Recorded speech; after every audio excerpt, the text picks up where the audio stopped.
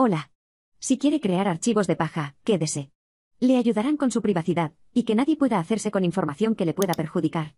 Sirven para crear archivos nuevos sin valor para el usuario, pero que sirven para cubrir los sectores del disco que contienen la información borrada por nosotros. Cuando eliminamos algo aún queda en el disco duro hasta que sobrescribimos con nuevos datos encima. Esta paja sería los nuevos datos. Clic en Download. El enlace a esta web en la descripción del vídeo. Buscamos Windows si tenemos sistema operativo de Microsoft. Escoge portable si no quieres instalar nada. Busca la ubicación de la descarga del comprimido. Extrae. Y abre la carpeta.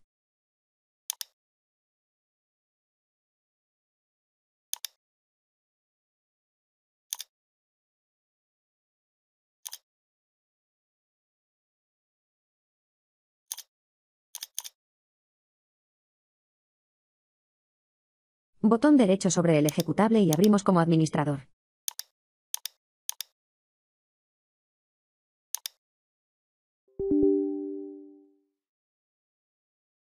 Clic en el botón que te indico. Crear archivos de paja.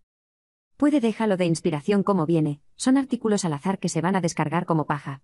La carpeta temp es la mejor, para que estos archivos se puedan eliminar mejor cuando toque. Lo demás al gusto, y si tiene cualquier duda la deja en los comentarios. Si hablo de todo aburro, crea los archivos. Confirma. Aquí puede ver archivos creados en la carpeta temp. Los puedes eliminar si quiere están en la carpeta temp. Y esto es lo que contiene alguno de ellos. Así es como puedes estar seguro de eliminar información sensible.